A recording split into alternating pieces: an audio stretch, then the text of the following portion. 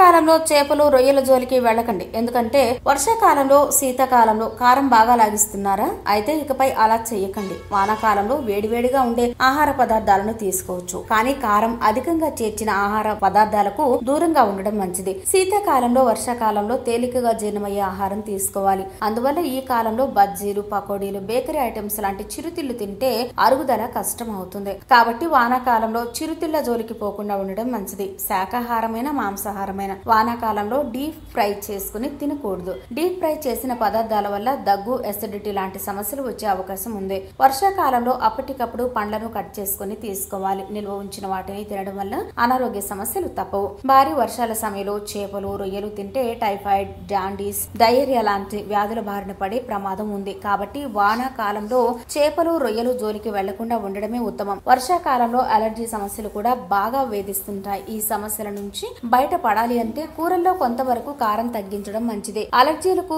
ఎక్కువగా గురయ్యే వాళ్ళు మాత్రం కారం బాగా తగ్గించాలి. అలర్జీ జలుబు దగ్గు ఊపిరితిత్తుల ఇన్ఫెక్షన్లు మైగ్రేన్ తలనొప్పి సైనసైటిస్ లాంటి సమస్యలు ఉన్న వాళ్ళు ఈ సీజన్లో పాల ఉత్పత్తులను ఆహారంగా తీసుకుంటే సమస్య మరింత పెరుగుతుంది. చికెన్ను ఉడికించి తీసుకోవడం మంచిది. అలాగే మటన్ను బాగా ఉడికించి సూప్ రూపంలో తీసుకుంటే శరీరానికి బలం చేకూరుతుంది. ఇంకా సూపుల ద్వారా జలుబు దరి చేరదు. ఆకుకూరలు కూరగాయలు ఉడికించి తీసుకోవడం మంచిదని ఆయుర్వేద నిపుణులు సూచిస్తున్నారు.